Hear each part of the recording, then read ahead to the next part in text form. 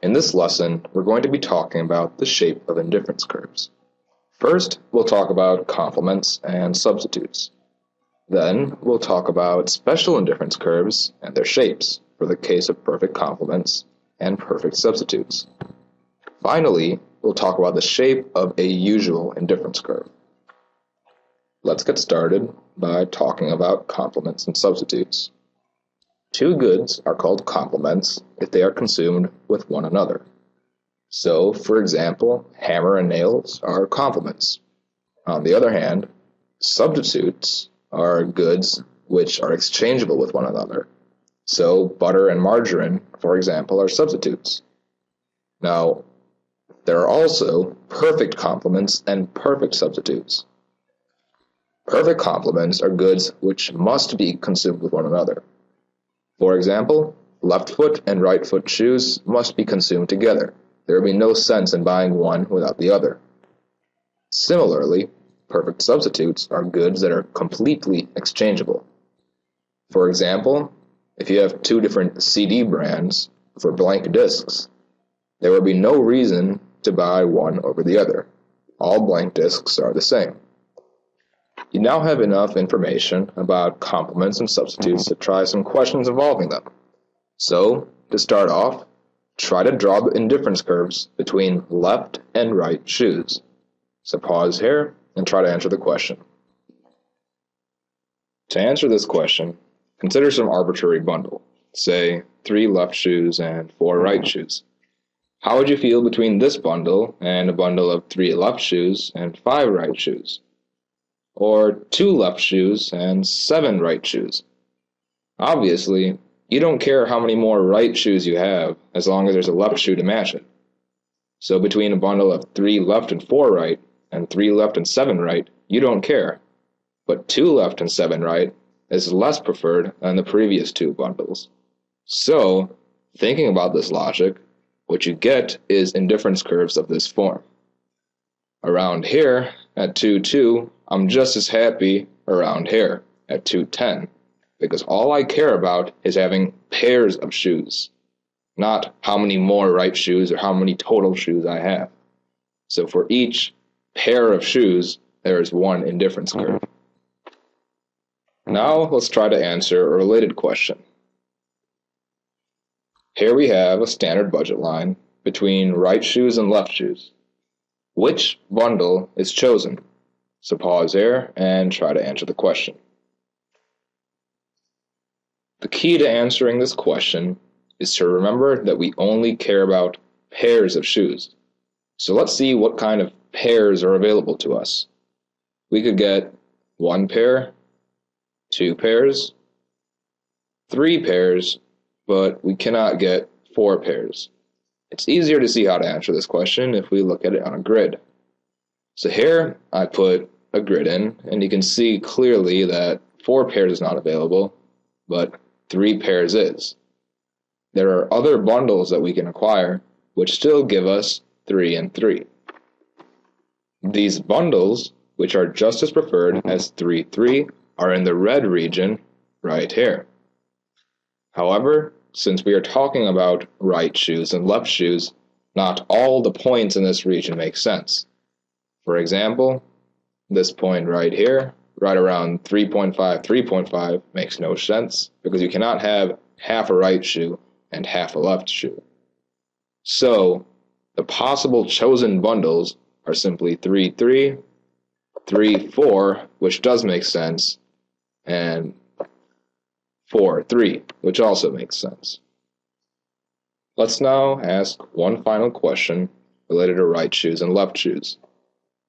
So suppose I'm going out and I want to buy a pair of shoes. Does it matter how much one half of a pair of shoes is priced as long as the entire pair sells for $15? So pause here and try to answer the question.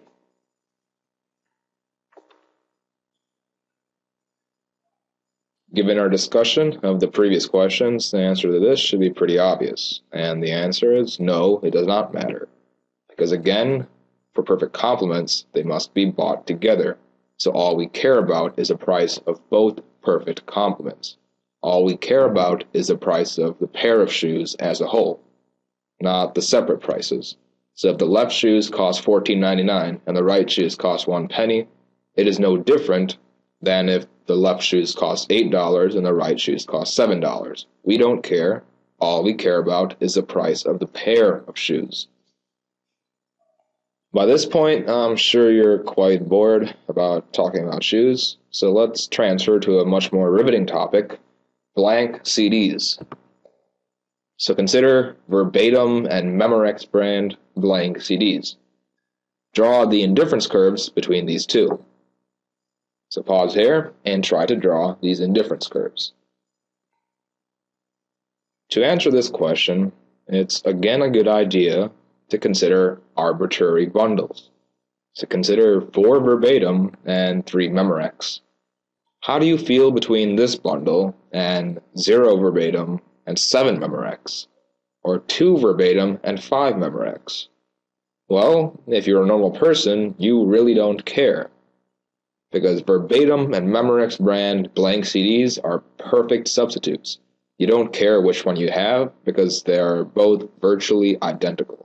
Going along with this idea, we see that the indifference curves are the set of all bundles such mm-hmm. that the coordinates of the bundles add up to a certain number.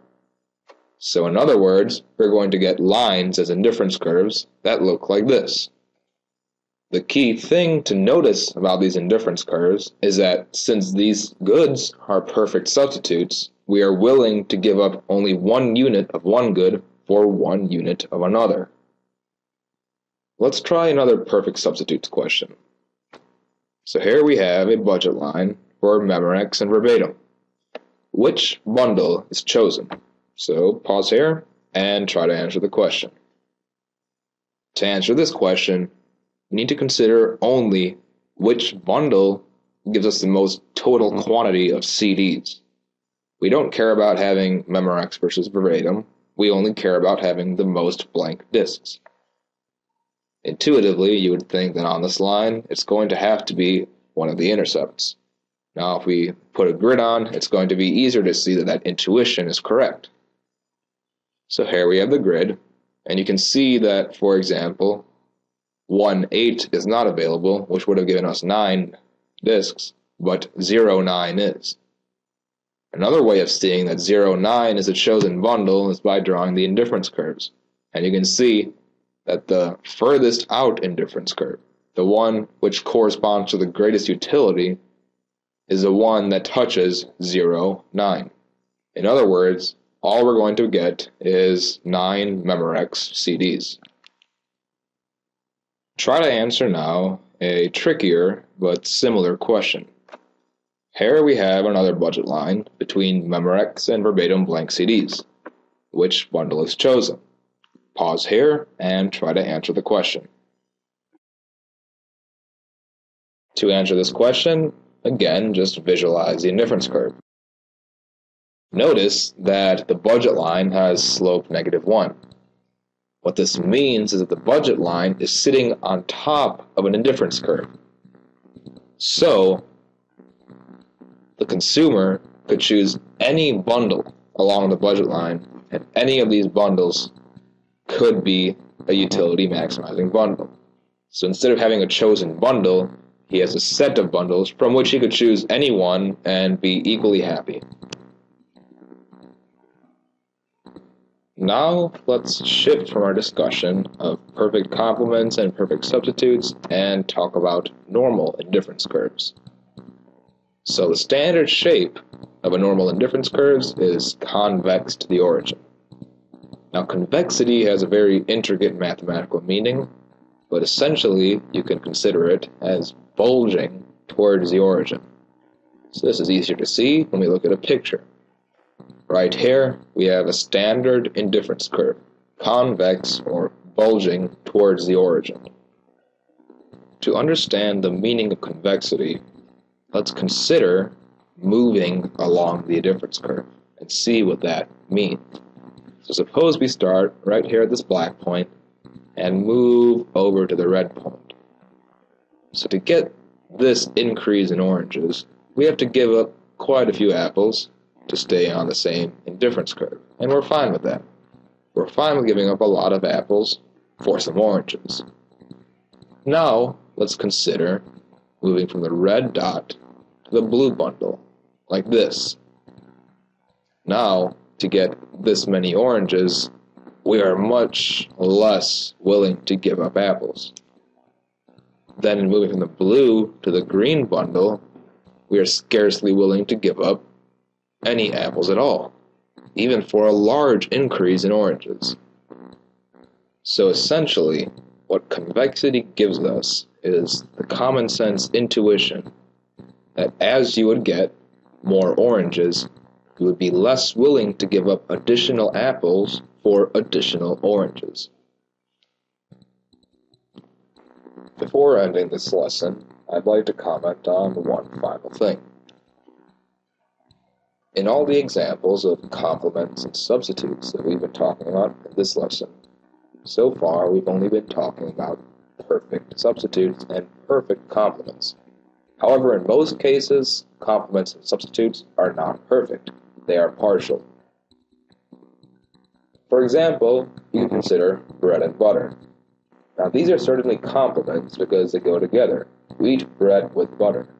However, they are not exclusive to each other. They can be used for other things. You can make a peanut butter sandwich, or you can put butter on your mashed potato. Similarly, Coke and Pepsi are substitutes.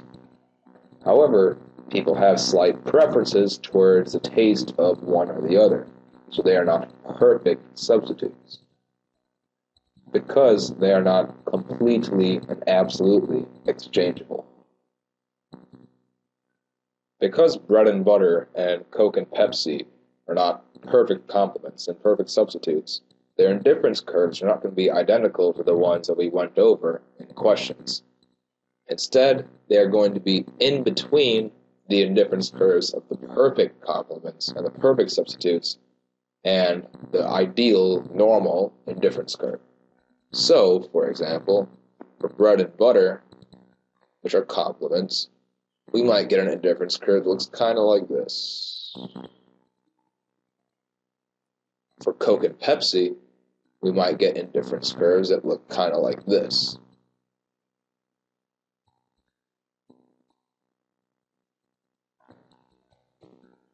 Alright, so that's going to be all for this time. And for next time, you should read section 2.2, do exercises 1 through 3, true and false questions 1 and 4 through 6, and if you're mathematically inclined and want a bit of a challenge, try true and false questions 2 to 3. So I hope you enjoyed this lesson, and I'll see you next time.